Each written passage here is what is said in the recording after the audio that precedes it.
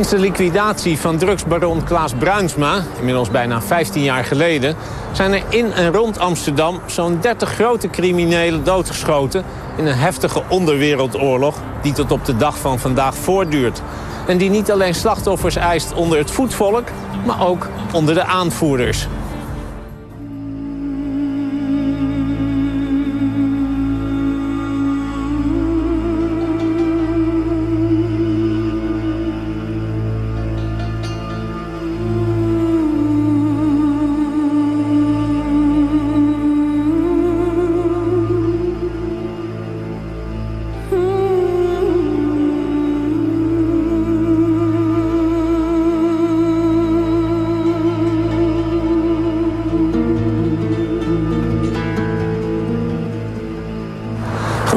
Welkom bij het programma dat onderzoekt, ontmaskert, aanklaagt, verdedigt. En vanavond verslag doet vanaf het Amsterdamse misdaadfront... waar de steenrijke vastgoedmagnaat Willem Enstra... een van de meest prominente slachtoffers was... in de lange lijst van gesneuvelden. Hier op de chique Amsterdamse begraafplaats Zorgvliet... ligt het graf van de man die deze week precies twee jaar geleden... voor de deur van zijn kantoor aan de Amsterdamse Apollo-laan werd geliquideerd.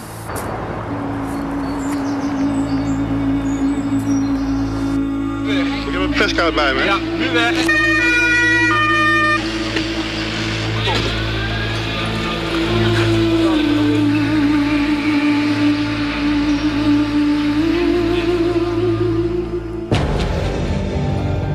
De puissantrijke Enstra beweerde te zijn afgeperst... door het vermeende criminele kopstuk Willem Holleder.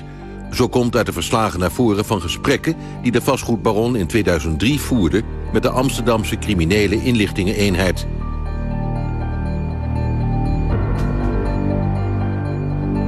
Willem Enstra's biecht vormt een belangrijk onderdeel in het politieonderzoek naar de mogelijke afpersingspraktijken door voormalig Heineken-ontvoerder Willem Holleder. En hoewel moord niet is opgenomen in de tenlastelegging, zou de beweerde topcrimineel de hand hebben gehad in vrijwel alle grote onderwereldliquidaties. Zo stelde Enstra tegenover de politie.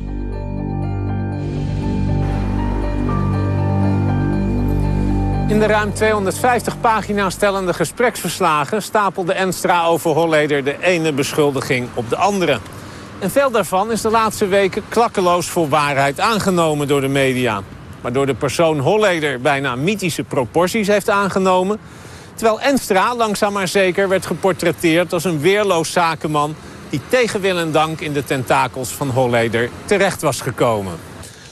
Maar is dat wel de waarheid? Of heeft de vastgoedtycoon misschien op het laatste moment ook wel geprobeerd... zijn eigen straatje schoon te vegen? Voor een antwoord op die vraag nemen wij u mee naar het chique Oud-Zuid. Sinds jaar en dag een van de duurste wijken van Amsterdam... en de laatste jaren ook het strijdtoneel van de grote criminelen. Hier woont een man die ooit zijn drugsgeld in bruikleen gaf bij Willem Enstra en dat waarschijnlijk met een bijna fatale kogel moest verkopen. Kijk, 25 miljoen te goed en dan... Uh, euro. Ik heb je toch gezegd wat voor ik het wil afkopen met 20. Hmm. Hoef je dat niet in één keer te betalen? Nee. Maar wat heb je nou terug uiteindelijk? Een kogel, kogel door je kop. Ja. Kogel door mijn kop, ja. Ja, maar kogel, kogel is een kwijtje. De kogel is niet deur. Hier vinden we het bewijs voor een bank waar je kunt inleggen... maar volgens haar cliënten beter niet kunt opnemen. Met een bankier die de dreiging van geweld niet schuwt. Ja, ook financieel is het niet slim. Kijk, de vraag is iets een tweede, een tweede. Had er dan één genomen? Nee, Had er een één, ja ik zeg maar een beetje cruw, maar... Uh, maar het is, het is toch helemaal fout dat hij gedaan Als je dan nodig, nodig moet schieten, dan moet je ja. niet alle twee doodschieten. Nee, nu weet uh, de kost handenvol geld. Het verhaal ook over de jarenlange verbeterjacht voor justitie... om de grote man achter de schermen, achter de tralies te krijgen... en daarbij de inzet van bijzondere en omstreden opsporingsmethoden niet schuwde.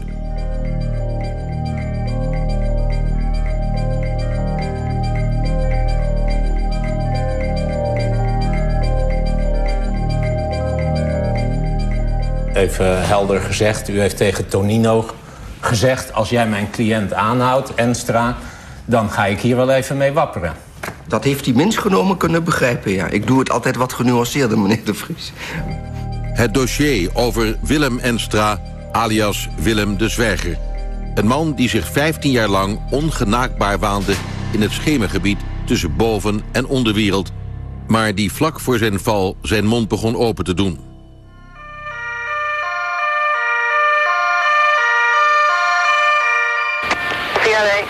Hier het HB met een signalement van de verdachte van de schietpartij Apollo Laat Delphi Hotel.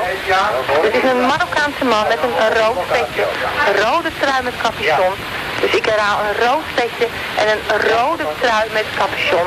Hij rende weg in de Beethovenstraat, richting Beethovenstraat. Er is sprake van twee slachtoffers. Een oorverdovende stilte maakt zich meester van Amsterdam... als het nieuws zich verspreidt dat Willem Enstra is doodgeschoten. Enstra, de grootste particuliere vastgoedbezitter... en de nummer 36 in de quote 500 van rijkste Nederlanders. Hoewel Enstra al jarenlang een zweem van georganiseerde criminaliteit om zich heen heeft hangen... en zijn naam met regelmaat opduikt in politiedossiers...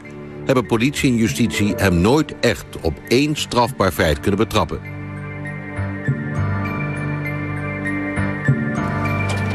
Juist één dag voor zijn liquidatie verbrak Stille Willem... zoals de mediaschuwe Enstra wel eens werd genoemd...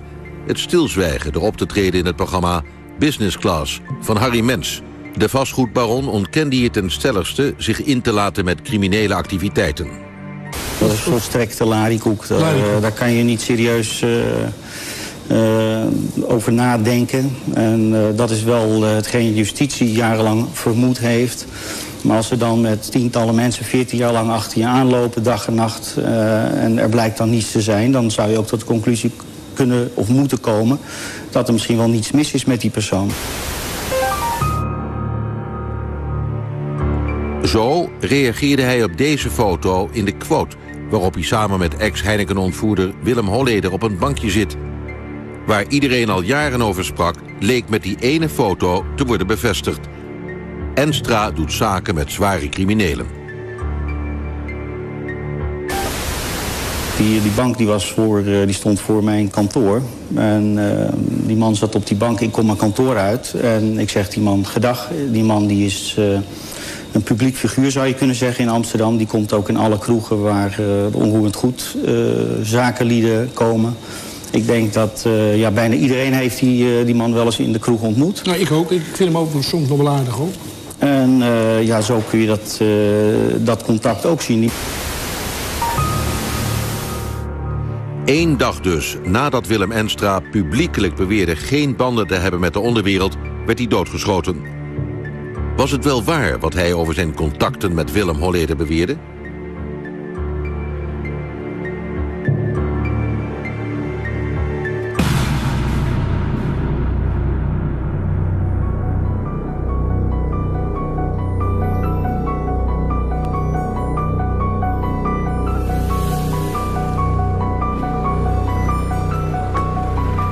Ik word afgeperst, vertrouwt Willem Enstra de criminele inlichtingeneenheid van de Amsterdamse politie in de maanden voor zijn dood toe. Tussen maart 2003 en januari 2004 houdt hij in het diepste geheim 15 gesprekken met regisseurs waarin hij uit de doeken doet wie zijn kwelgeest is. En bovenal wie er verantwoordelijk is voor de lange reeks criminele afrekeningen waarvoor de politie nooit iemand heeft weten aan te houden.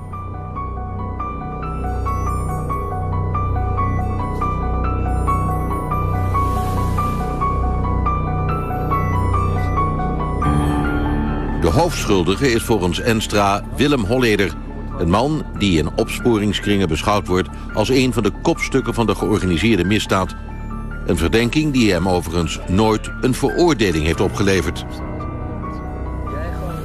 Anders dan Willem Enstra bij Business Class met droge ogen beweerde...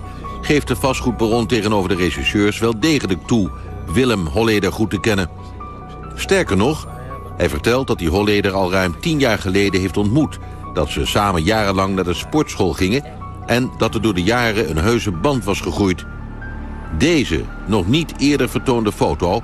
kan dan ook niet bepaald als een toevallige ontmoeting worden uitgelegd... zoals Enstra eerder deed. Holleder, in wie hij aanvankelijk dus een vriend en beschermer ziet... ontpopt zich echter later als een soort paard van Troje. Zo staat er in de stukken. Holleder staat aan het hoofd van een organisatie... die zich heeft toegelegd op het afpersen van rijke vastgoedmagnaten. Zo vertelt Enstra. Enstra zelf beweert al vele miljoenen te hebben moeten afstaan... uit angst anders te worden geliquideerd. Zo staat er in de gespreksverslagen te lezen. Enstra beschrijft een groepering die corrupte politieagenten in haar zak heeft... en het grove geweld niet schuwt. De vastgoedhandelaar heeft naar eigen zeggen klappen gehad van Holleder in het Amsterdamse bos. En hij beweert zelfs met een vuurwapen te zijn bedreigd op het kantoor van Holleders advocaat meester Bram Moskowitz, toen deze zelf afwezig was.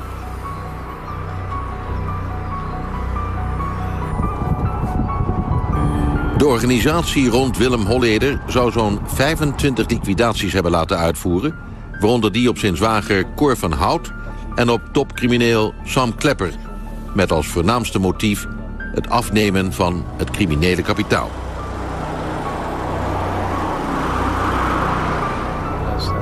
Enstra beweert in een aantal gevallen, daags voor de liquidaties... persoonlijk te zijn ingefluisterd door Willem Holleder... over de op stapel staande afrekeningen.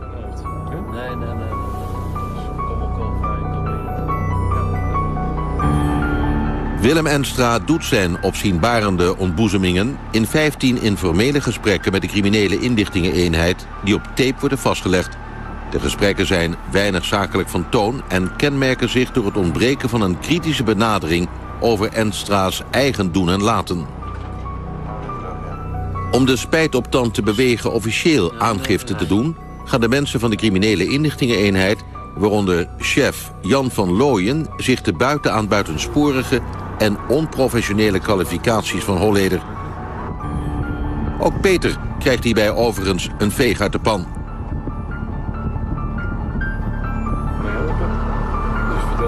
Maar Willem Enstra wil pas aangifte doen als de politie Holleder voor moord kan oppakken in plaats van afpersingen. Anders vreest hij dat zijn plaaggeest binnen afzienbare tijd wie er op zijn stoep staat om wraak te nemen. Eind januari 2004 besluit Enstra de samenwerking te verbreken... mogelijk omdat Holleder lucht heeft gekregen van de geheime RCIE-gesprekken. Zo valt tenminste uit de tapes op te maken.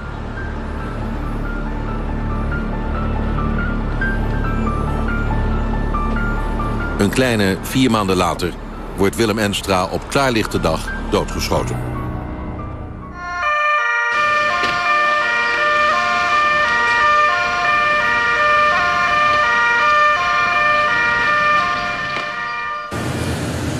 Willem Enstra's biecht vormt een belangrijk onderdeel in het zogenaamde Kolbak-onderzoek. Het onderzoek van de Nationale Recherche naar de handel en wandel van Willem Holleder.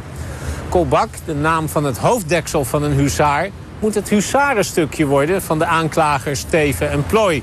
Die menen met de arrestatie van Holleder, januari van dit jaar, een van de grootste onderwereldbazen achter slot en grendel te hebben. Maar de vraag is, hoe betrouwbaar zijn de ontboezemingen van Willem Enstra eigenlijk? De man die jarenlang als een koorddanser tussen boven- en onderwereld balanceerde... en uiteindelijk de afgrond in dreigde te vallen.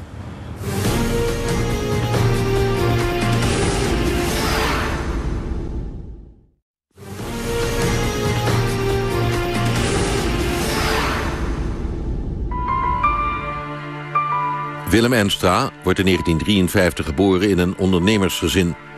Zijn vader maakte fortuin met een groothandel in spoorwegwagons... en op zijn zestiende stapt Willem in het familiebedrijf. Wim, voor Intimi, gaat in 1981 met wat familiekapitaal handelen in vastgoed.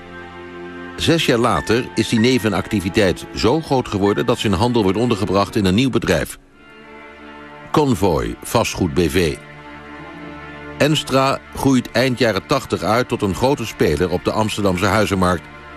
Hij bezit hele straten en huizenblokken in het statige Oud-Zuid en de rivierenbuurt. In de avonduren studeert Enstra af als meester in de rechten.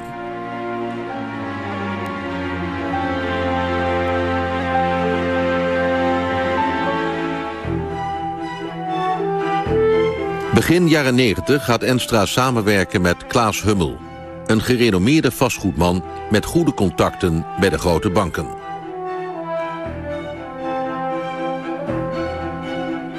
Via Bouwfonds, een dochter van de ABN AMRO-bank... verkrijgen ze een werkkapitaal van 300 miljoen euro. De bomen lijken in die jaren tot aan de hemel te groeien.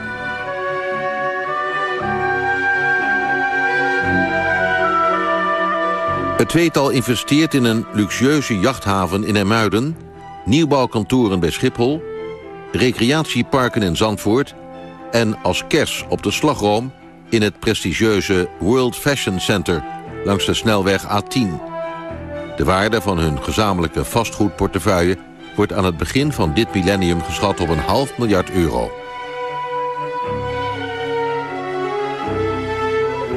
Enstra groeit uit tot de grootste particuliere vastgoedbezitter... en mag zich tegen die tijd scharen tussen de 50 rijkste mensen van Nederland. Maar al vanaf het begin van de jaren 90 heeft Enstra de geur van zwart geld om zich heen hangen. Justitie verdenkt hem ervan crimineel kapitaal wit te wassen... door het in Amsterdams onroerend goed te investeren. Als jurist en ondernemer weet Enstra goed de weg als het erom gaat... een ondoorzichtig netwerk van vennootschappen in binnen- en buitenland op te zetten.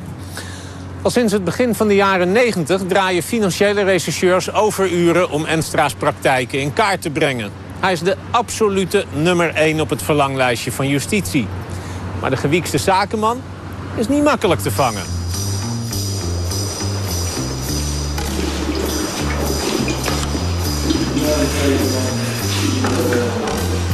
De eerste keer dat Enstra in het zoeklicht komt van justitie is in 1992.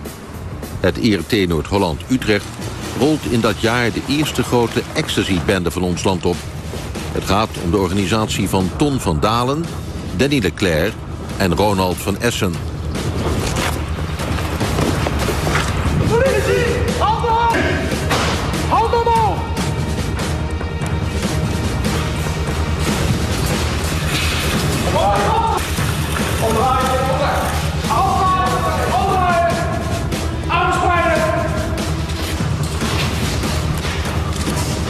Van Dalen als het brein, Leclerc als de chemicus en Van Essen als de transporteur vormen ze een gouden trio.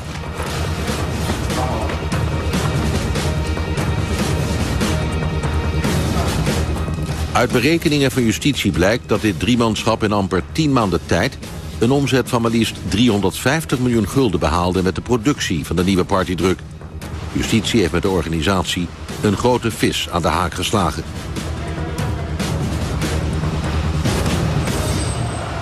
Een naam die in deze omvangrijke ecstasy-zaak aan de oppervlakte komt drijven... is die van de, tot dan toe, onbekende vastgoedhandelaar Willem Enstra... Begin 1992 wordt hij gearresteerd. Uit financieel onderzoek komt naar voren dat Enstra zo'n 11 miljoen gulden van het trio heeft ontvangen via valutawisseltransacties, overboekingen en kaststortingen. Justitie verdenkt de vastgoedman van het wegsluizen van drugsgelden. Enstra zou de witwasser zijn van de bende. Hoewel de kopstukken Ton van Dalen en Ronald van Essen... uiteindelijk worden veroordeeld tot respectievelijk 10 en 8 jaar cel... komt Enstra echter met een schrik vrij. Volgens krantenberichten uit die tijd koopt Enstra in 1995... verdere vervolging af voor het bedrag van 1 miljoen gulden. Een schikking die Enstra zelf overigens altijd heeft ontkend. Maar Willem Enstra is dan al inzet van een ander fraudeonderzoek. In 1994 doet een curator aangifte tegen de onroerend goed tycoon. Hij heeft het faillissement van een bedrijf van Enstra onderzocht... en is daarbij op flinke onvolkomenheden gestuurd.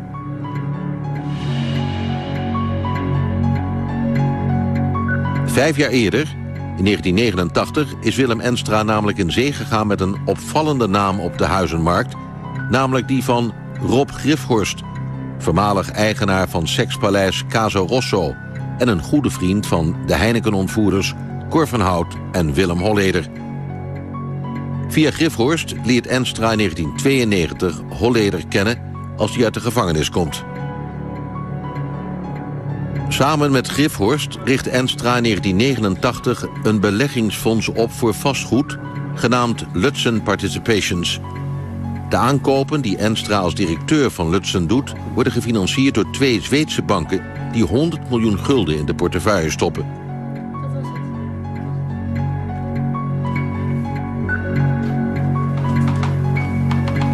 Twee jaar later blijkt het fonds ineens failliet. Uit een jarenlang onderzoek van de curator wordt duidelijk... dat Enstra geld weg heeft gesluist naar eigen BV's...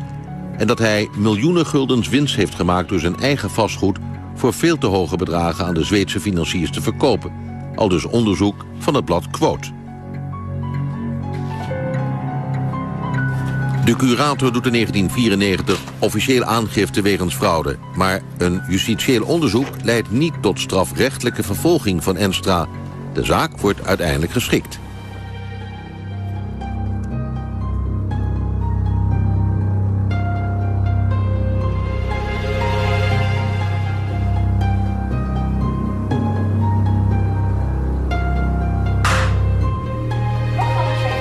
In dezelfde week dat Enstra in die zaak een schikking treft... staat de politie weer voor zijn deur. Een ander bedrijfje van Enstra is in beeld gekomen... tijdens een onderzoek naar internationale hashhandel... door een Deense groep Hells Angels, zo berichtte de Volkskrant.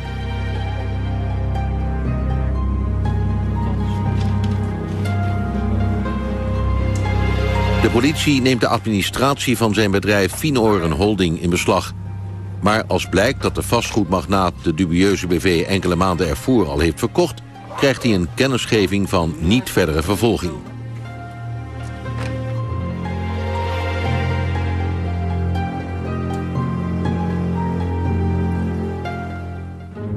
Willem Enstra weet dus begin jaren 90 voornamelijk via schikkingen zijn blazoen als onbesproken vastgoedman smetvrij te houden. En zo groeit Enstra verder uit tot een gerespecteerd zakenman in de wereld van het vastgoed. Maar Enstra's naam blijft in de onderwereld circuleren. En blijft ook inzet van politieonderzoek. Zo ontdekte ik reeds tien jaar geleden, in 1996, bij toeval. In dit kantoorgebouw in Zeist, hier achter mij... waarin toen nog het landelijk rechercheteam huisde... werden toen bij een inbraak computerfloppies... met informatie over lopende onderzoeken gestolen. Niet lang daarna vielen die computerschijfjes bij mij op de deurmat. U herinnert zich wellicht onze spraakmakende uitzending hierover nog. Tussen de vele bestanden met criminele gedragingen en persoonsgegevens op die floppies... prijkte er een opvallende naam. Die van de Amsterdamse zakenman Willem Enstra. Op de RRT-schijfjes rapporteert een informant aan de rechercheurs... al een aantal jaren zaken te doen met Enstra. Hij verklaart... Enstra beheert belegd gelden van diverse criminele organisaties.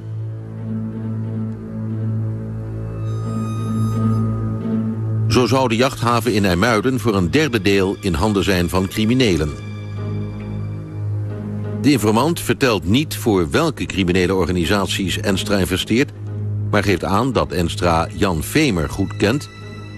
de onderwereldfiguur die met topcriminelen Sam Klepper en John Mierenmet optrekt...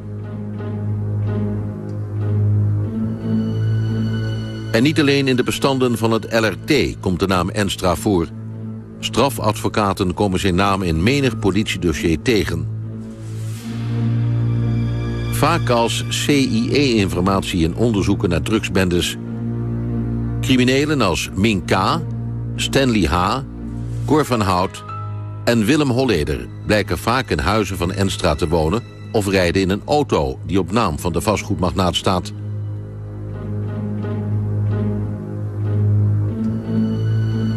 Maar niet alleen in politiedossiers duikt Willem Enstra op. In 1996 wordt zijn persoon in geanonimiseerde vorm genoemd in de commissie van TRA... de parlementaire enquêtecommissie naar ongeoorloofde opsporingspraktijken. In het eindrapport wordt een grote vastgoedhandelaar genoemd... die een schoolvoorbeeld van een witwasconstructie zou hebben opgetuigd. Hierna wordt het een tijd stil rond Enstra en zijn beweerde wasseretten. Maar in het diepste geheim werkt justitie door aan de val van de omstreden vastgoedbaron. Eind 2000 lijkt het erop dat Enstra eindelijk vervolgd zal worden. De ambitieuze Amsterdamse officier van justitie, meester Joost Tonino... meent genoeg grond gevonden te hebben om Enstra aan te houden. Dat blijkt althans uit de correspondentie die in zijn computer werd aangetroffen... en toevallig in 2005 in mijn bezit kwam. En wat toen tot een heuse Tonino-affaire leidde. Uit de door Tonino op straat gezette informatie komt naar voren... dat de aanklager in december 2000 van overtuigd is... dat hij Enstra achter slot en grendel kan krijgen. En niet alleen vanwege witwaspraktijken. In een brief van Tonino aan twee financieel regisseurs van het LRT... het Landelijk Rechercheteam... reageert de aanklager optimistisch op de onderzoeksresultaten. Dit lijkt mij een zeer harde zaak aan het worden. Aan de ene kant hebben we bekende criminelen... en aan de andere kant een aantal opmerkelijke betalingen. Tonino meldt de LRT-regisseurs dat het vermoeden zich opdringt... dat Enstra strafbare feiten heeft gepleegd... en gezien moet worden als financier van opiumwetdelicten. Tonino denkt dat Enstra zelfs lidmaatschap van een criminele organisatie verweten kan worden... In een brief aan een collega-aanklager lijkt Tonino zich ervan bewust... dat een arrestatie van de Aalgladde door vervelen notabele vastgoedmagnaat gevoelig ligt. Tonino schrijft... Voor alle duidelijkheid voor de parketleiding... in de top 500 van de rijkste Nederlanders van het blad Quote... staat hij op nummer 43.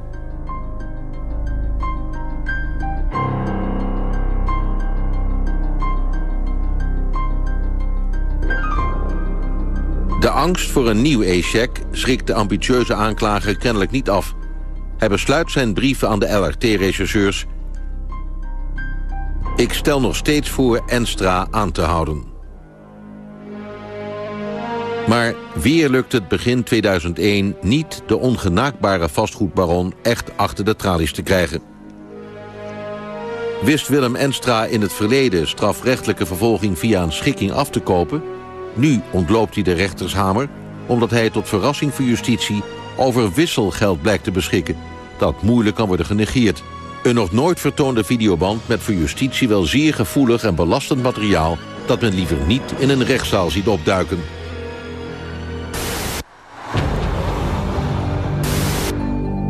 Op 28 juli 2000 registreren de beveiligingscamera's in Enstra's kantoor op de Apollolaan... namelijk deze ongewone nachtelijke activiteiten. Dit zijn de originele beelden. Drie mannen komen rond 1 uur s'nachts de hal in van Enstra's kantoor. Zij zijn er zich klaarblijkelijk bewust van dat ze met stiekeme, riskante praktijken bezig zijn. Getuige de hand die deze man angstvallig op zijn pistool houdt.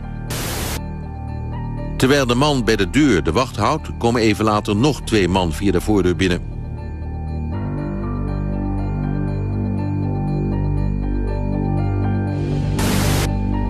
Kort daarna zien we dat er videoopnames gemaakt worden in het kantoor van Enstra.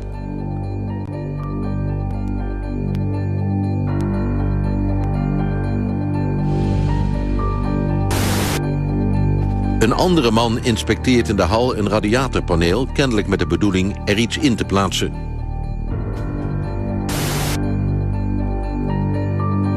Ook laten de mannen niet na her en der in kastjes te snuffelen.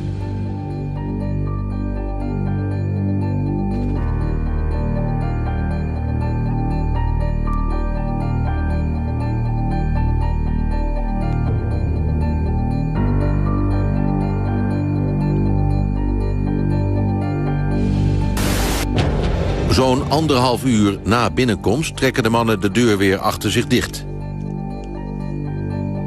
De aard van de activiteiten wordt tijdens een tweede bezoek van de mannen duidelijk. Anderhalve maand later, op 9 oktober 2000... maken de camera's in Enstra's kantoor deze originele opnamen. We zien drie mannen in het hols van de nacht aan een muur morrelen. Op het gemak wordt er dan afluisterapparatuur op de tafel uitgestald en zorgvuldig geïnstalleerd.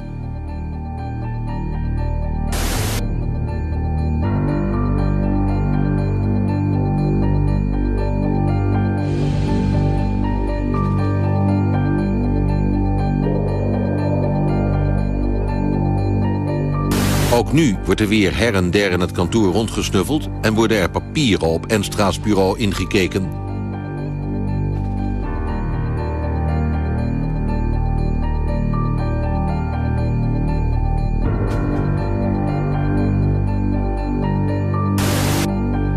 Twee uur later vertrekken de mannen weer.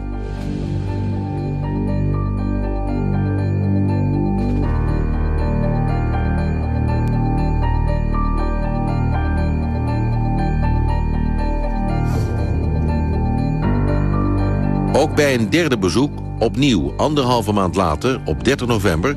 komen de mannen op hun hoede met de hand in de binnenzak binnen.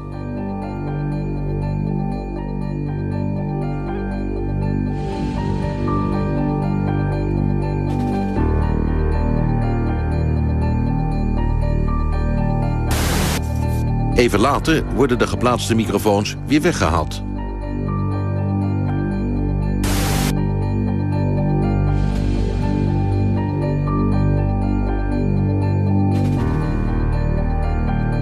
Voor wie het nog niet duidelijk was... Dit zijn opmerkelijke opnames van verschillende inkijkoperaties door de KLPD... het Korps Landelijke Politiediensten... Vermoedelijk wilde de sectie stiekem van de politie... middels het afluisteren van Enstra... aan belastende informatie komen over zijn doen en laten.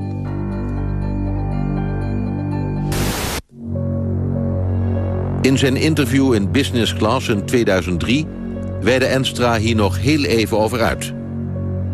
Nou, er zijn een aantal uh, methodes toegepast uh, tijdens dat onderzoek... Uh, waar ik mij niet op beroepen heb in de procedures... omdat dat ja, tot formele niet-ontvankelijkheid had kunnen leiden. Dus we hebben een aantal illegale zaken gedaan... zoals inbreken in mijn huis...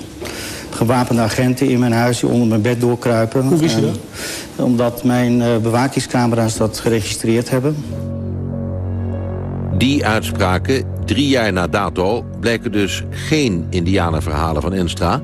Zo wordt ook duidelijk als wij de voormalige raadsman van Enstra... meester Bram Moskowitz enkele printjes van de videobeelden laten zien. Kent u deze foto's, uh, meneer Moskowitz? Ja, die ken ik. En hoe komt het dat u die foto's kent? Wie heeft u die laten zien? Die foto's die, uh, heb ik gekregen van uh, Weile de heer Enstra... Uh, ik trad toen voor hem op in een strafzaak als advocaat. En die heb ik op een gegeven moment uh, in een bespreking laten zien aan de officier van justitie Tonino. Die belast was destijds met de strafzaak uh, tegen meneer Enstra. Willem Enstra blijkt bij business class dus wel de waarheid te hebben gesproken, maar niet de gehele.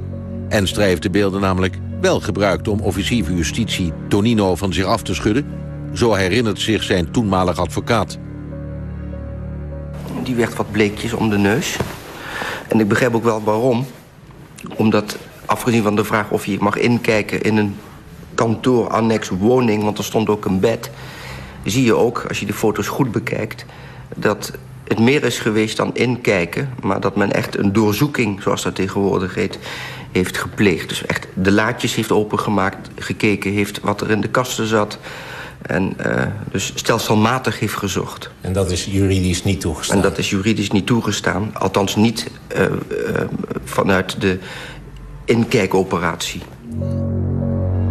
Enstra weet een voorarrest en mogelijke vervolging af te wenden... door te dreigen deze opzienbarende videobeelden wereldkundig te maken. Ik heb op een gegeven moment die foto's ingebracht.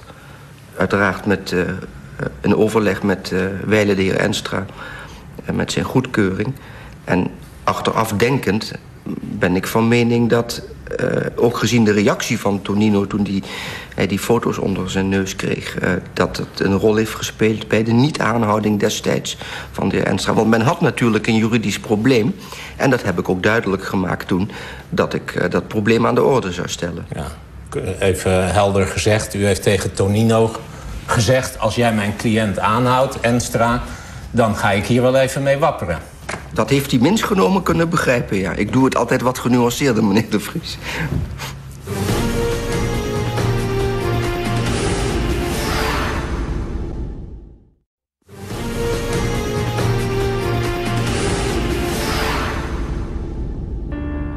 Lange tijd heeft het de recherche verwonderd hoe Willem Enstra al dagen voor de inkijkoperatie op de hoogte was van de plannen. Tijdens de achterbankgesprekken met de criminele inlichtingeneenheid lost Enstra dit raadsel op. De vastgoedman beweert dat hij is getipt door Willem Holleder... die dankzij een corrupt contact bij de politie van tevoren op de hoogte was. De regisseurs reageren gretig op Enstra's uitlatingen over Holleder... die agenten plat zou hebben. Het is een van Enstra's vele beweringen die Holleder in een kwaad daglicht zette... en klakkeloos door alle media zijn overgenomen. Zo presenteert bijvoorbeeld het Parool op 26 april van dit jaar... die beschuldiging als een vaststaand feit. De krant schrijft... Achteraf bleek dat Enstra via Holleder al vooraf van de operatie wist. Maar die uitlatingen van Enstra blijken in ieder geval aantoonbaar onjuist... Het was namelijk niet Holleder die wist van het voorgenomen nachtelijk politiebezoek... maar Enstra zelf. En die informatie kwam niet via een corrupte politieman... maar via zijn bloedeigen secretaresse. Wij legden de hand op deze brief... die is geschreven door de secretaresse van Willem Enstra... en die een heel ander licht werpt op de zaak. Kent u deze brief? Handgeschreven brief. Ja, nou ik moet u zeggen, ik ken de brief niet zoals, die, zoals u mij die hier aanreikt. De inhoud van die brief, die uh, is mij bekend, ja. ja. En die houdt in? Uh, die houdt eigenlijk in uh, dat de secretaresse van de heer Enstra... de sleutel van het pand van de heer Enstra heeft overhandigd aan politiefunctionarissen. De politie zocht naar mogelijkheden om ongemerkt het kantoor van Enstra binnen te komen... en kwam toen uit bij de secretaresse. Zij heeft op verzoek van haar vriend, die bij het politiekorps Kennemerland werkte... de sleutel van het kantoor afgestaan voor de inkijkoperatie. Uit vroeging biegt ze dat echter onmiddellijk op aan Enstra in de brief. Ze schrijft...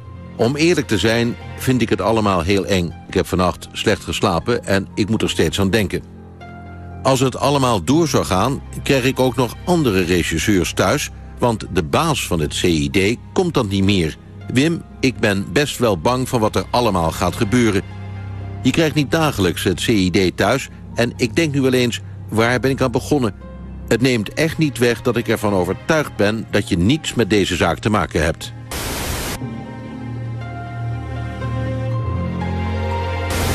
Daaruit blijkt dus zonneklaar dat het niet Willem Holleder is geweest... door middel van een corrupt politiecontact, zoals iedereen schrijft en aanneemt... Uh, die die inkijkoperatie heeft laten uitlekken...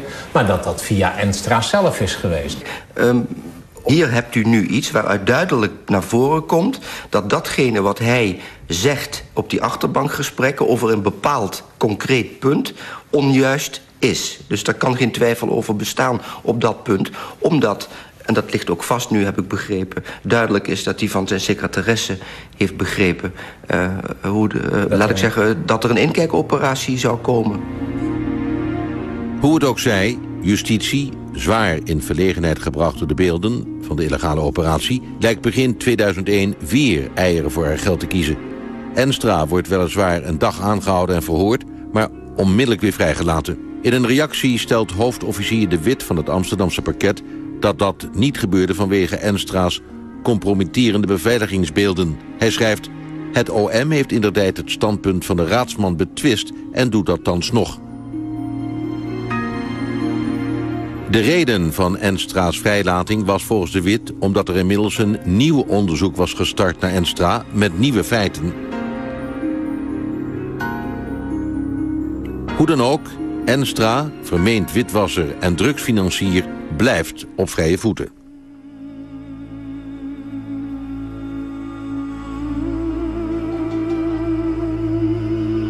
In het najaar van het nieuwe millennium breekt de onderwereldoorlog in alle hevigheid los.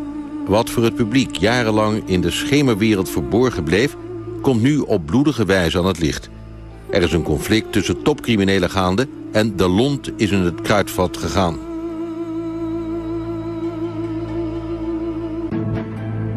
De oorzaak van het conflict onttrekt zich grotendeels aan het oog... maar ligt in ieder geval bij een aantal liquidaties in twee omstandigheden. Enerzijds zou er ruzie zijn tussen een groep Joegoslaven... en een groep Hollanders over een partij gestolen drugs. Zo komt uit deze stukken naar voren. Die drugs, met een straatwaarde van 12 miljoen dollar...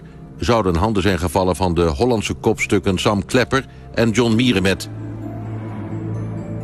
De eigenaar, de beruchte Joegoslavische maffiabas Sreten Josic... zou daarvoor schadeloos gesteld willen worden. Maar Klepper en Mierenmet weigerden. Daarna werden er over en weer handlangers geliquideerd. Zo komt uit de processen verbaal van de criminele inlichtingeneenheid naar voren. En anderzijds zou de oorzaak van de onderwereldoorlog niet liggen in drugs... maar in huizenblokken in het chique Oud-Zuid... Die zouden tot aan de voegen zijn doortrokken van crimineel kapitaal... dat door de inleggers niet kan worden verzilverd. In een historisch te noemen interview met John van de Heuvel in augustus 2002 in Dagblad de Telegraaf... biecht crimineel John Mierenmet op hoe de vork in de steel zit. John Mierenmet zegt net als veel andere grote jongens... vele miljoenen in vastgoed te hebben geïnvesteerd bij een vastgoedmagnaat... die niet naar de herkomst van het geld vraagt. Maar toen hij het kapitaal wilde verzilveren... kreeg hij het lid op de neus en werd hij onder vuur genomen. Een bank dus waar je zwart geld kunt wisselen voor wit kapitaal... maar niets kunt opnemen.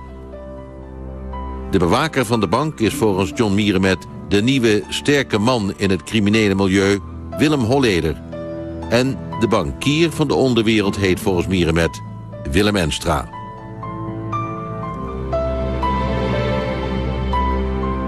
Willem Enstra dus als motor achter enkele grote afrekeningen... met als inzet huizenblokken op de mooiste plekken van Amsterdam. Het is Monopoly met het mes op tafel. En Willem Holleder als zijn sterke arm. Criminelen die hun miljoenen investeringen terugvroegen... werden doodgeschoten of onder druk gezet... om met een aanzienlijk minder bedrag genoegen te nemen executieverkoop. Dus in de meest letterlijke zin van het woord. Het zijn niet de geringste verdachtmakingen. En deze bevestigen wat politie en justitie al jaren vermoeden, maar niet hard konden maken. Willem Enstra is niet alleen de grote witwasser voor criminelen... ja, zeg maar de bank van de onderwereld... maar waarschijnlijk zelfs de spil in de Nederlandse onderwereldoorlog. De grote man achter de schermen. In zijn interview bij Business Class ontkende Enstra destijds zelfs maar zaken te doen met criminelen zoals John Mierenmet. Ik had geen enkele relatie met de heer Mierenmet. Uh, ik heb een zaak gedaan met uh, een, een, dame die een amoureuze relatie heeft gehad met die man, of nog heeft. En uh, wat de beweegredenen van die man zijn om uh, die uitlatingen te doen, dat is voor mij onduidelijk. Maar ook hier weer, dat er tussen de uitlatingen van Enstra en de daadwerkelijke gang van zaken een verschil zit, blijkt wel als wij de hand leggen op zeer onthullende opnames.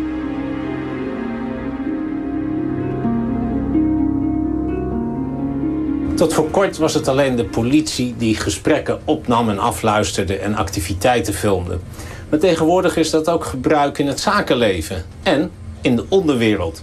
Dat kan handig zijn, maar je moet je natuurlijk wel goed realiseren dat als je iets opneemt... dat het op een goede dag of een kwade weer naar buiten kan komen.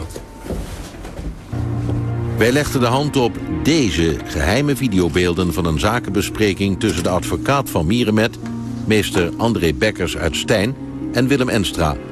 De opnames zijn exact één dag na het verschijnen van het belastende telegraafartikel... gemaakt op het kantoor van Enstra. We herkennen het nog van de inkijkoperatie... Enstra op de rug gefilmd, heeft het over het Telegraaf-interview. Ik zou niet weten hoe hij me nog meer moet beschadigen. Behalve als hij me zou bedreigen met het leven, dan kan ik meer mee beschadigen, voor mij of mijn familie. Maar qua, uh, ik ben een maximaal beschadigd. Ik zou niet weten hoe het nog meer moet. Het gesprek gaat over het geld dat Mierenmet en zijn vriendin nog van Enstra krijgen... een slordige 40 miljoen gulden. Enstra geeft aan bereid te zijn om een financiële deal te sluiten met de topcrimineel... op voorwaarde dat Mierenmet verder zijn mond houdt tegen de krant... en voortaan verklaart dat hij wat in de war is geweest toen hij zijn uitlatingen deed.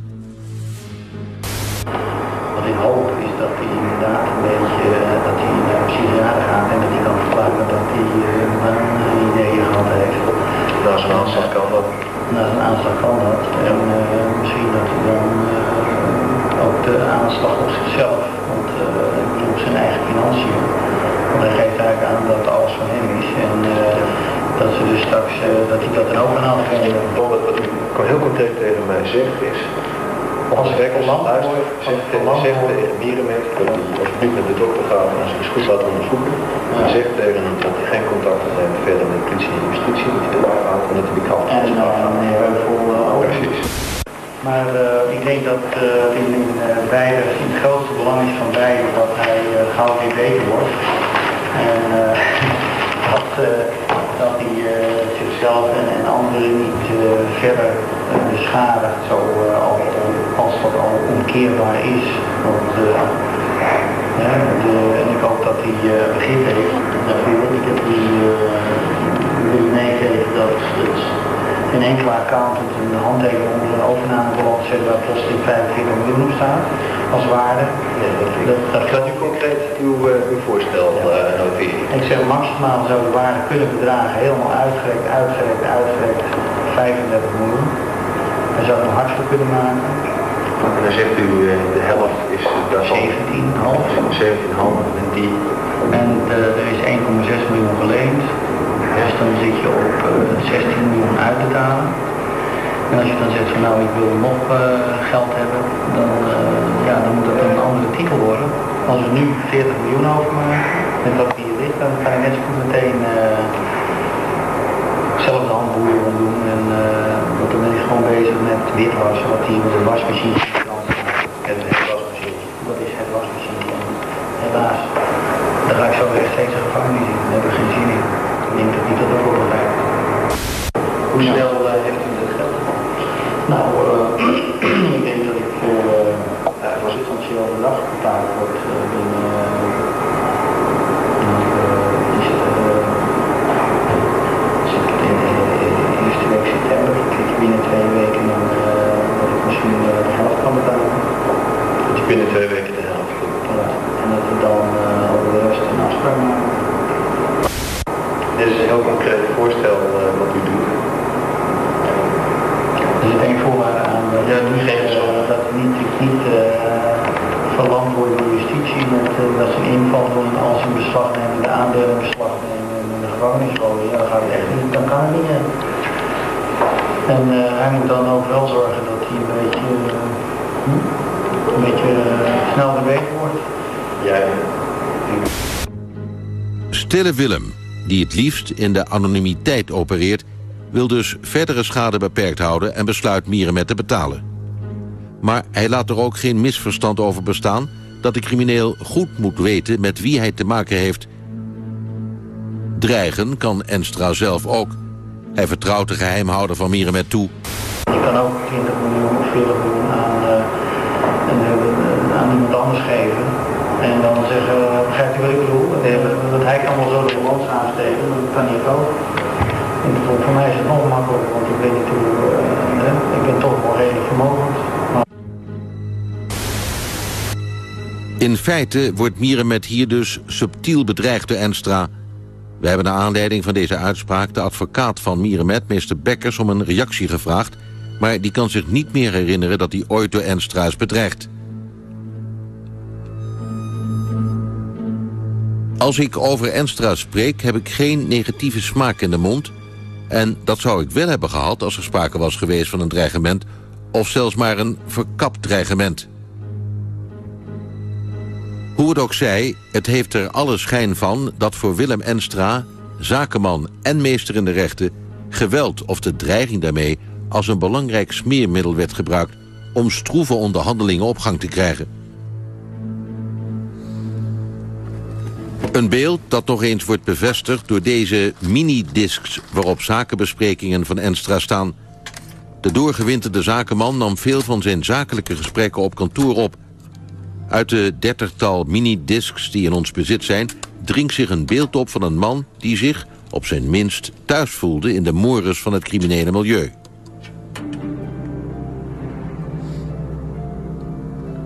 Op de disc staan gesprekken tussen Willem Enstra en een zakenpartner Harry Pen... gevoerd naar aanleiding van de moord op de broers Erik en Rob Driesen. Deze Bredase vastgoedhandelaren, met twijfelachtige reputatie... en met wie Enstra ook volop zaken deed... werden in mei 2001 in een woning doodgeschoten. Hun moordenaar is Ron N., een Bredase crimineel... die nog veel geld te goed had van de met geld goochelende tweeling... Harry Pen is een bekende van moordenaar Ron N... en doet de toedracht van de dubbele moord uit de doeken voor Enstra. Hij schoot gewoon eh, een paar kogels door de hoofd heen, allebei door de hart heen. Ja, zo. Hij was niet de oude, was hij. Maar wat heeft hij dat nou gedaan, hè? Snuiven Ja, hij is gek, jongen. Ja, en toch had hij, ik was vrijdags bij hem en dat was zo... Ik, had hem, ik heb hem nog nooit zo rustig gezien. Want dat was, ik was een beetje een hitsige jongen. En ik heb hem nog nooit zo rustig gezien als die vrijdag. Hij heeft ze zo, zo met voorbedacht te raden beschoten zelfs. Dat heeft ze eerst de lui, eh, allebei door de hoofd heen geschoten en toen nog allebei één kogel door het hart heen. Dus dat is gewoon zo bewust gedaan. Kijk, als jij met iemand Ja, gaat schieten, dan, dan, dan, Schiet je is het heel anders. En, en weet je het, en dan heb je misgeschoten. Wat, nee, echt doelgericht, gewoon. Een. Ja, gewoon puur geliquideerd. Dus hij kon niet meer zeggen dat hij een, eh een waas voor zijn ogen kreeg of zo. Nee, nee, nee, nee. Hij heeft gewoon een goed hij is nog naar zijn auto gegaan om pistool te pakken. Dus eh, hij had alle tijden gehad om te denken. Ja.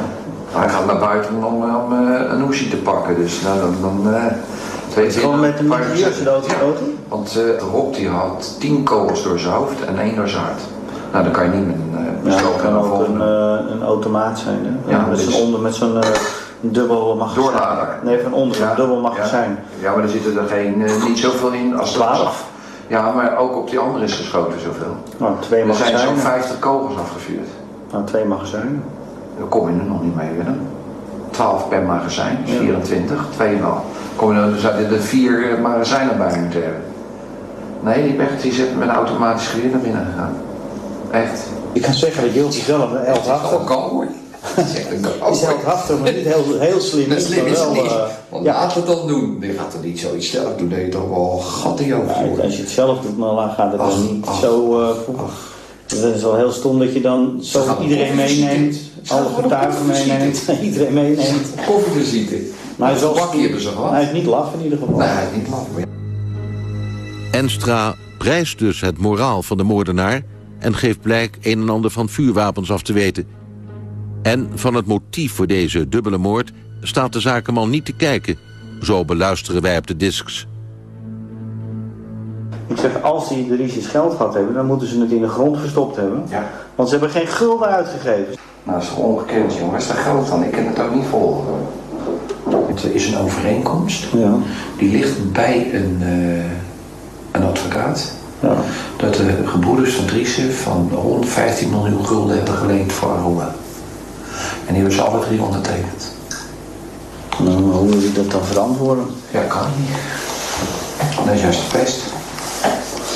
Daarom is hij ook zo boos natuurlijk. Ja. Ze hebben de totaal bij elkaar iets ingedaan, dacht ik, van 28 miljoen gulden. Is niet waar. Ja. Ja, het is wat. Is dat echt zo? Ja, dat is echt zo. Ja. Ja, en die jongens die dachten altijd van, nou ja, nooit geen geld opgenomen uit de pot. En ze dachten, nou dat gaat wel goed. En eh, ja, ze horen alleen maar verlies, verlies, verlies, verlies, verlies, verlies. En eh, er is niks. Maar vind ik gek dat we op een gegeven moment klapt heeft. 28 miljoen? Ja. Ja, wij vragen ons allemaal, ja, waar, is, waar is dat geld, jongen? Want er moeten toch inkomsten zijn geweest? Als je jou geen huur betaalt, Dat is nog masters dood te schieten. Hè? Want wat, wat hebben ze weer, wat heeft hij veroorzaakt allemaal van narigheid? Want zo is het wel natuurlijk. Ik had het gewoon op een hele andere manier moeten doen. Ja, ook financieel is het niet slim. Kijk, de vraag is iets een tweede, een tweede. Had er dan één genomen? Maar- Had er een één, ja ik zeg maar een beetje cruw, maar eh, Maar het is, het is toch helemaal fout dat hij gedaan heeft. als je dan nodig, nodig moet schieten, dan moet je Ja. niet alle twee natuurlijk nu weet eh, de kost handvol geld. Dit is gewoon, dit is de grootste fout die hij ooit heeft kunnen maken. Dit. Nee, dit is heel dom. Nee, dat zijn trieste dingen allemaal. Maxim, Maxima die zou zeggen, dat is wel een beetje dom. De vastgoedmagnaat legt hier dus een iets wat onorthodoxe kijk aan de dag... hoe men om moet springen met wanbetalers. Verder toont hij zich meer dan geïnteresseerd... in de namen en rugnummers van criminelen die dergelijke praktijken uitvoeren. Arie is gewoon de man, de man nu, want die gaat alles weer naar het rond. Die schijnt toch nog alles te dirigeren vanuit het gevangeniswezen, maar hij is er geweest. Hij Maar wie is nou de baas bij Ron of die? Arie. Was altijd de baas? Nee, Ron. Was dat de baas? Ja, was de, de ik dacht altijd dat die Arie was. Nee, ja, nee, Ron eh, maar goed, Arie is altijd eh, ja, de man eigenlijk achter die bij justitie gewerkt. Bij de, bij de speciale eh, team. Wie? Arie. Is jij ook politieman? Arie heeft eh, bij het opsporingsteam gezeten. Met die, eh, met die Mercedes, hè, weet je wel, met hem beveiligd. Arrestatieteam. Waar Arie bij gewerkt. Jaren. Dus je weet alles hoe het functioneert en hoe het gaat. Hij is er niet eh, een of andere informatie? Nee, nee. Nee, nee. Zo hoef je niet bang voor te zijn. Deze Arie zou volgens Harry Pen deel uitmaken van de beruchte Juliette-bende. De misdaadgroepering die halverwege jaren 90 het Brabantse land onveilig maakte... met zeer gewelddadige ripdeals en gruwelijke mishandelingen. Enstra kende dus blijkbaar meer bekende afpersers. Daarvoor dat toen die tijd met die Julie, Juliette bende, dat waren hun. Had gewoon contact met de Maar politie. hun hebben dit bij gehad van de politie keer. Nog? Ja. Nog? Zitten er wel mensen, dan krijgt hij gewoon alles van door. Ik wist niet dat hij politieman was geweest. Ja, speciaal. Vind het wel een beetje eng. Nou, ze hebben van mij al eens wat opgelost. Nou, dat was in twee keer tijd geregeld. Maar het was net een film. Het was net een film. En daarna waren ze klaar. Ja. Maar zo'n opleiding bij het arrestatieteam is natuurlijk nooit weg. Nee, want hij weet alles. Hij weet precies hoe het werkt. Hij weet wanneer hij weg moet zijn. Hij weet al hoe het functioneert. Harry Pen weet te vertellen dat de politie in het onderzoek naar de moord op de gebroeders Driessen... ook informatie inwint over Willem Enstra. Ik word niet afgeluisterd. Maar één wel. Nou, ik heb een, eh, mijn zoon die iemand zitten bij de PTL. Ja, maar één moet wel afgeluisterd. Ja, maar ik kan het zo nadenken. Het is helemaal geen enkel punt. En ze kunnen hier nog vlakken naar. Daarom ik weet of dat het om mijn hele kantoor eh, Nee, zo focus afgelegd en Ja, gedaan. Ze zijn, ze zijn heel erg En, eh, focus op je. weet je wel. Dus, Ja, daar word ik graag. dit is helemaal, heb ik helemaal nagecheckt. Ja, dat kan ik ook voor je laten doen. hè. Ik heb iemand met zijn apparatuur die pelt het weg. Dan heb je ook van de speciale. Maar ik heb ook eh, mensen die van mij vertellen wie er afgeluisterd worden. Ja, ja. En die draait ook de band terug, zodat er niets op staat. Ik heb die jongens ook al een paar keer meegereden. ja, maar toch, ik wil... Ik, wil, Ik eh, heb iemand zitten daar. En die... eh, ja, die het zal maar net, zal maar net een andere afdeling zijn. Nee, nee hoor, nee hoor, nee hoor, nee hoor. Dat is allemaal, allemaal één, eh, één afdeling. Waar ze het afluisteren. Ja. Het is toch makkelijk. Kennelijk doet Enstra dus zelf ook aan contraspionage van de politie. En is Holleder niet de enige die contact heeft met corrupte dienders. Pen brengt Enstra dan op de hoogte van de groeiende aandacht van justitie naar zijn persoon. Ze willen je graag hebben. Ja. Want ze, ze zijn er rond geweest. Of ze een verklaring tegen jou wilden. Ik tegen jou een verklaring wilde leggen. Wat dan? Wat voor verklaring? Ja, nee. Of die, eh, kende die mij? Had hij dat gezegd? Nee, nee, nee. Helemaal niks gevraagd, niks. Hij zegt helemaal niks. Maar zei hij, hij kende... Nou, kent u hem? justitie wilde een verklaring tegen. Maakt er niet uit wat, maar moest je hem doorgeven, ja. Maakt het niet uit Ze zijn met twee mensen geweest. Ken je iemand, ja, ze hebben mijn naam gezegd, iemand die door zout heen geschoten is. Ja? Daar zijn ze geweest voor een verklaring tegen je Ja. en waarom. En ze hebben allebei niks, eh, geen verklaring, geen verklaring afgelegd, niks. Helemaal niks. Gewoon gezegd, ik ken die helemaal niet eens. Moet ik even doorgeven aan je. Oh, mooi. Ja, ik ken hem ook niet. Ik heb hem wel eens één keer gezien, eens een keer. Maar, eh Ja, maar was zo- een aardig rustige jongen. Maar ja, ja. Maar dat had hij. Werk had. En wat zei ze? Als u een verklaring aflegt, dan... eh, Nou ja, die sfinkslag hebben ze erin gegooid. Ja. Maar ja, ze kunnen hem toch Nou, eh, jongen. niet geloven, want eh, ze kunnen hem niet vrijlaten. Ja, gewoon in de rij, joh. Alle grote criminelen die zijn er al flink wat ges- gesneuveld de laatste uh, jaar. Verdun. Verdun. Ja. Maar het is, uh, ja, of je nou twintig jaar in de bak zit of je gaat dood. Nou, Zoveel verschil maakt het niet uit, denk ik. Nee. De opgenomen gesprekken werpen een ander licht op de man... die de laatste maanden in de media vooral is geportretteerd... als een weerloos slachtoffer van criminele afpersers.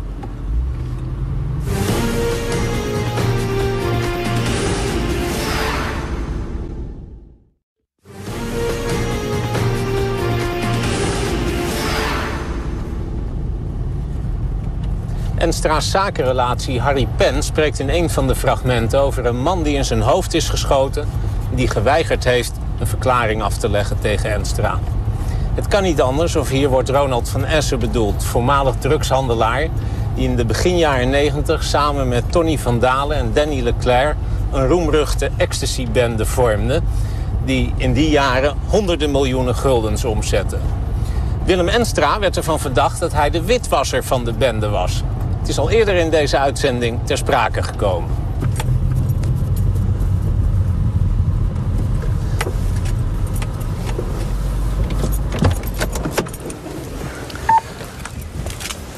Het is om deze man, Ronald van Essen, dat ik hier op de Minerva-laan ben. En dat is op steenworp afstand van het kantoor van Willem Enstra.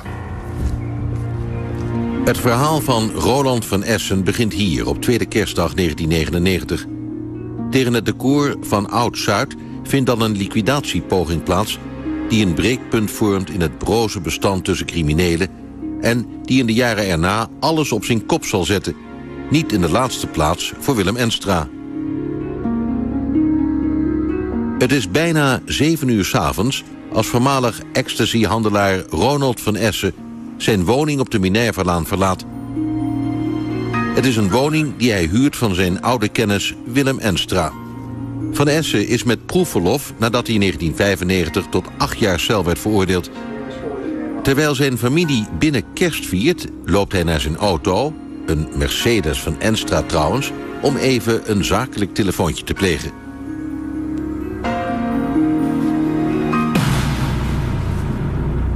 Als Van Essen achter het stuur zit, nadert een onbekende schutter. Oh, heerlijk zeg. Hartstikke goed. Lekker. Als Van Essen zijn telefoon intoetst... wordt plotseling het rechter portier opengetrokken. Ja. De schutter vuurt één keer op het hoofd van Van Essen. Hij wordt in zijn rechter slaap geraakt. Zo blijkt uit de politiestukken van destijds. Nee, maar ik ga even kijken waar jou blijft. Zijn zoon gaat een half uur later kijken waar zijn vader blijft. Hij ziet Van Essen voorover op het stuur hangen met bebloed hoofd. Hij wordt in kritieke toestand overgebracht naar het ziekenhuis... maar overleeft de aanslag wonderwel. De dader wordt nooit gepakt. In het criminele milieu leidt het echter nauwelijks twijfel... wie er achter de aanslag zit. De recherche hoort voormalig zakenpartner Tony van Dalen. Hij verklaart op 29 december 1999... Wij parkeerden het criminele geld dat wij verdienden met de ecstasyhandel bij Willem Enstra. Ik denk dat Ronald ongeveer 10 miljoen gulden bij Enstra heeft geparkeerd. Enstra beheert dit crimineel verdiende geld. Ook wordt de celmaat van Ronald van Essen gehoord... en dat is op dat moment niemand minder dan ex-Heineken-ontvoerder Cor van Hout. Van Hout is geschokt door de aanslag op zijn vriend Van Essen. Hij breekt daarom met zijn gewoonte tegenover de politie te zwijgen. Volgens Van Hout is het Willem Enstra die achter de moordaanslag zit. Ronald van Essen zocht de laatste tijd veel contact met Willem Enstra. Ronald wilde namelijk zijn geparkeerde geld binnenkort gaan innen. Willem Enstra vond deze Ronald kennelijk erg lastig worden.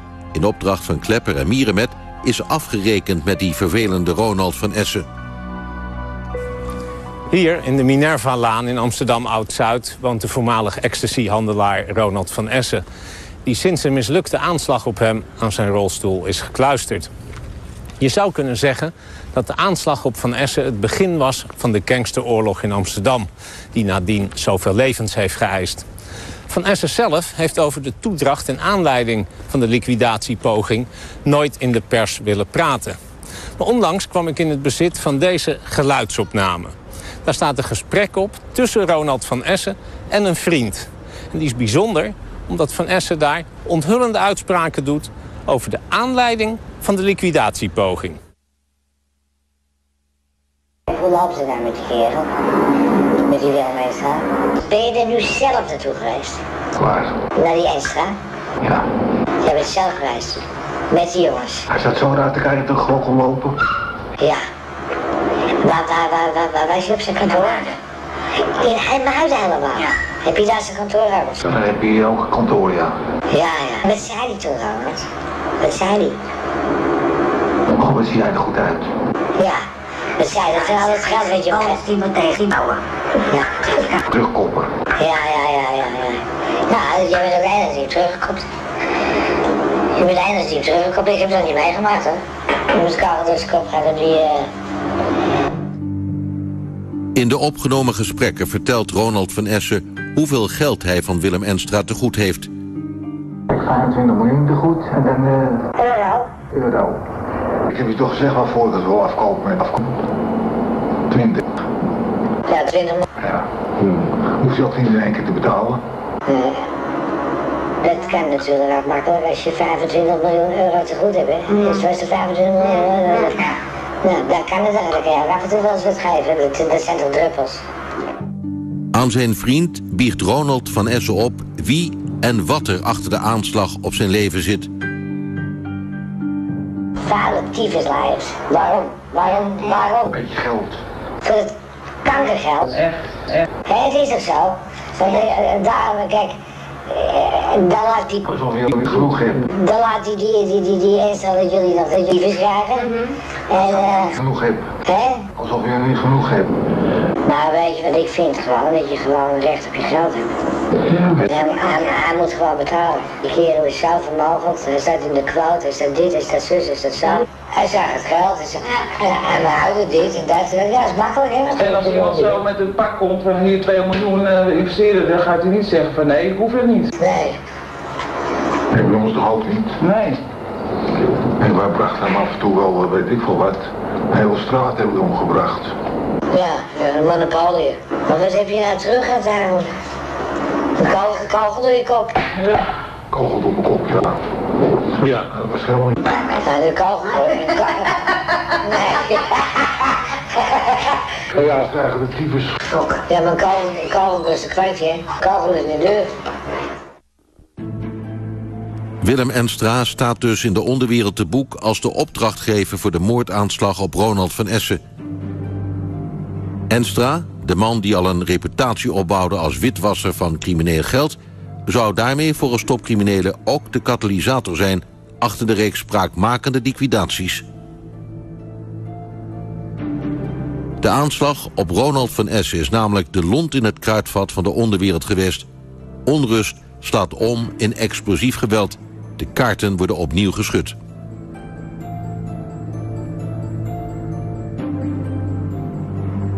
Willem Enstra, die in het justitiekaartspel van meest gezochte criminelen al jarenlang de schop en aas is, wordt in de maalstroom meegetrokken. De aanslag op Ronald van Essen luidt uiteindelijk ook zijn val in.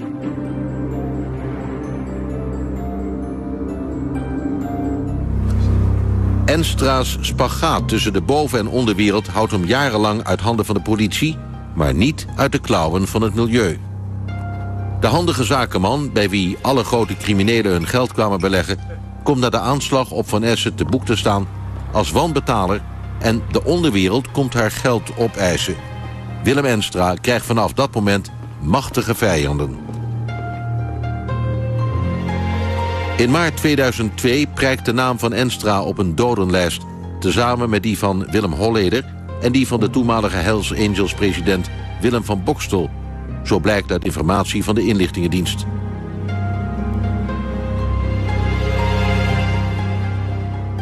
Maar niet alleen Enstra's criminele investeerders willen geld zien...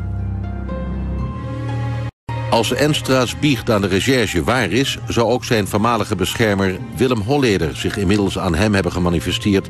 als een rukzichtloze afperser. Het zwaard is tegen hem gekeerd. Enstra, die, zoals we eerder lieten horen... het gebruik van geweld niet schuwt... probeert een uitweg te vinden. Zo komt uit de Enstra-tapes naar voren. Hij benadert daarom Hells Angels president Big Willem om Holleder op te ruimen.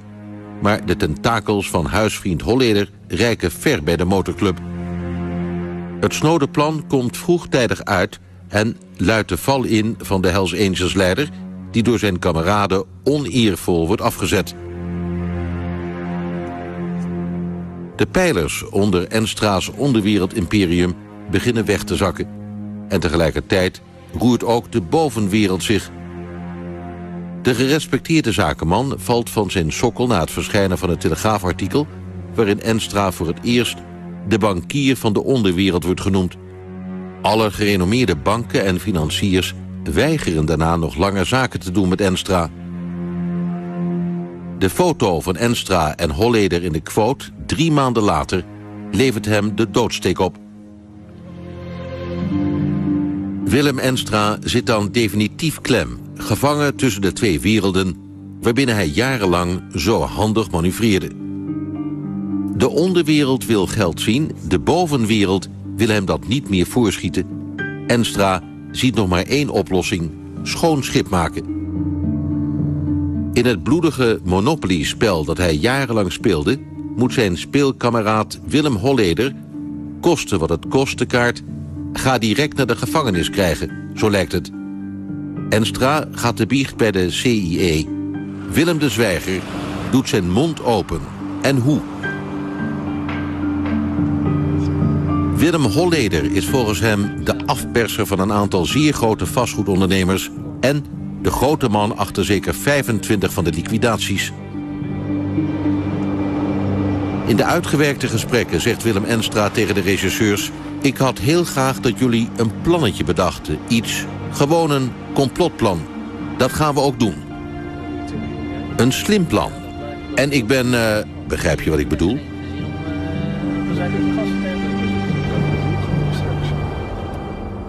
Ook al liegt Enstra op bepaalde punten. Hij zal niet voor de grap naar de politie zijn gelopen. Uh, kunt u zich voorstellen dat hij angst, enorme angst voor uw cliënt had? Ja. Kijk, ik, dat is voor mij moeilijk te beoordelen. Ik kan in zijn algemeenheid alleen zeggen dat een heleboel mensen angst voor mijn cliënt hebben. Niet omdat ze daar ook reden voor hebben, maar door de mythevorming en beeldvorming die van uh, mijn cliënt uh, ontstaan is. En ook bewust in het leven is geroepen door justitie. Hoe dat tussen Enstra en Holleder zat, dat kan ik niet precies beoordelen. Uh, maar het feit dat hij met de CEE heeft gesproken... dat kan heel goed voortkomen uit weloverwogen eigenbelang. Willem Enstra, slachtoffer of dader?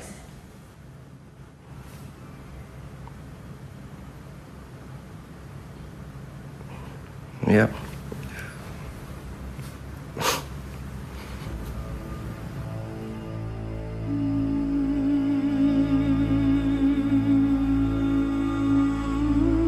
Als de nu opgedoken nieuwe gegevens één ding laten zien... dan is het wel dat Willem Enstra niet zozeer geportretteerd moet worden... als een weerloos slachtoffer... maar meer als iemand die zelf volop meedeed... in het gevaarlijke misdaad-monopoliespel. De openbaringen van Willem de Zwijger bevatten op een aantal punten aantoonbare leugens. Wellicht voortgekomen uit angst. Dat kan heel goed. Maar waarschijnlijk ook met als doel om Holleder onschadelijk te maken... en zijn eigen rol in de onderwereld zo klein mogelijk te houden.